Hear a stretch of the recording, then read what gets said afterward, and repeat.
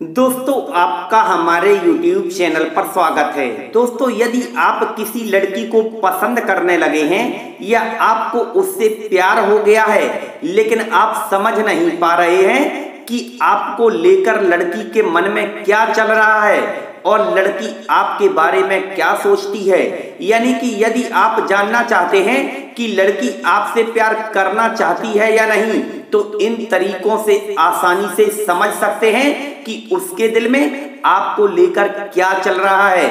चलो बताते हैं। दोस्तों, यदि आपने अभी तक इस चैनल को सब्सक्राइब नहीं किया है तो सब्सक्राइब कर लें। साथ साथ बेल आइकन को प्रेस कर ऑल पर क्लिक करें। नंबर वन दोस्तों, यदि लड़की से आपकी जान परिचय नहीं है, यानी कि यदि आप दोनों एक दूसरे के लिए अनजान हैं, लेकिन आपको उससे प्यार हो गया है और आप उसे प्रपोज करना चाहते हैं तो लड़की को प्रपोज करने से पहले आप लड़की के नज़दीक जाएँ और उसे किसी न किसी तरीके से इम्प्रेस करने की कोशिश करें।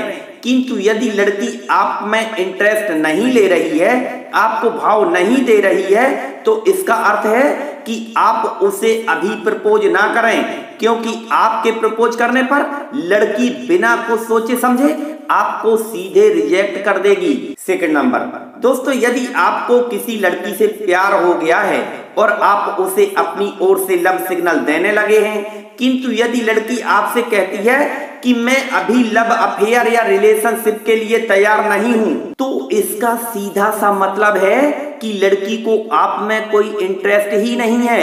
यह लड़की आपसे प्रेम संबंध नहीं रखना चाहती।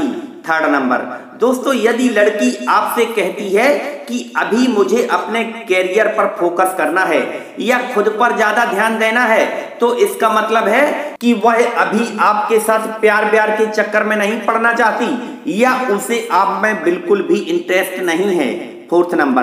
दोस्तों, यदि आप लड़की से अपने दिल की बात कहते हैं और यदि लड़की आपसे कहती है कि मैं आपको इस नज़र से नहीं देखती या मैं तो तुम्हें अपना अच्छा दोस्त मानती हूँ तो इसका मतलब है कि वह आपके साथ प्यार व्यार में नहीं रहना चाहती। Five number.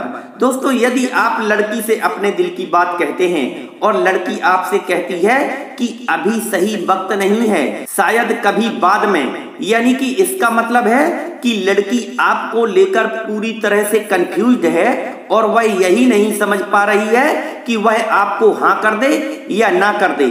Six number. दोस्तों, यदि आप लड़की से अपने दिल की बात कहते हैं और लड़की आपसे कहती है कि मुझे प्यार ब्यार में कोई दिलचस्पी नहीं है या मेरी ज़िंदगी में कोई और है तो इसका मतलब है कि लड़की चाहती है कि आप उससे इस विषय पर कोई दोबारा चर्चा ना करें या इस विषय को लेकर आप उसे बार बार परेशान ना करें। दोस्तों, वीडियो को लाइक करें, चैनल को सब्सक्राइब करें। धन्यवाद।